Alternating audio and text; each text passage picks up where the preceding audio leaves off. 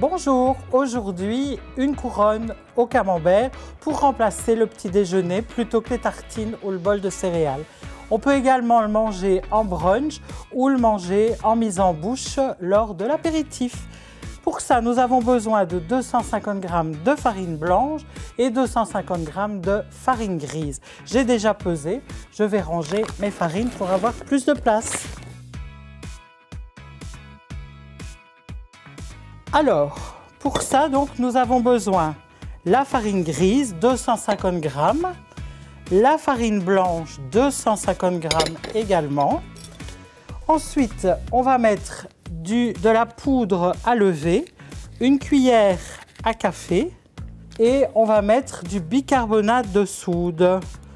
Alors, pourquoi est-ce qu'on met ceci? Tout simplement parce qu'on va utiliser euh, du lait battu plutôt que de l'eau qui va donner l'acidité. On va également ajouter du sel, également une cuillère à café. Donc ça c'est pour le goût. Un pain non salé, c'est pas bon du tout. Et on va mesurer le lait battu. Donc là, on doit mettre 400 millilitres. Je verse.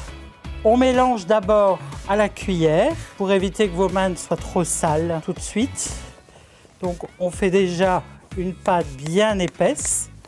Alors, un peu de farine sur le plan de travail. Une petite corne en plastique, ça pour la boulangerie, c'est l'idéal. On travaille la pâte.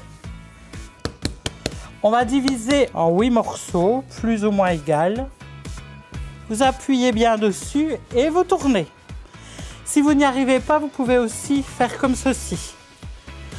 Mais vous allez voir qu'en appuyant bien sur votre plan de travail, c'est beaucoup plus facile. Voilà, donc maintenant, il nous reste à faire notre, notre assemblage, notre montage.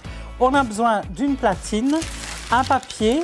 Alors le petit truc, le papier, pour qu'il ne roule pas, vous le chiffonnez, vous le repositionnez sur votre platine. On va prendre un camembert. On va enlever toutes les protections. On le remet dans la boîte. Voilà. On va simplement faire des petites entailles dans le camembert pour pouvoir y glisser des amandes, du porto et des petits raisins. Voilà, donc simplement venir mettre les amandes dedans.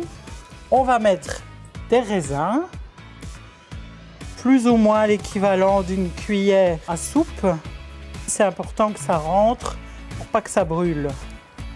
Maintenant, on va mettre du porto, deux cuillères à soupe. Ça, c'est le côté sympa de la recette.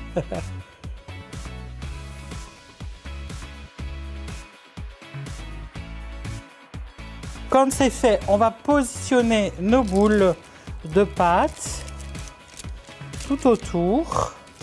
Et sans lever, on va pouvoir mettre dans un four qui a été préchauffé à 180 degrés. Voilà, donc c'est cuit. Regardez ça, quelle belle couleur. Donc, on met directement sur l'assiette. Et il suffit de déguster les petits pains avec la petite cuillère et le camembert. Bonne dégustation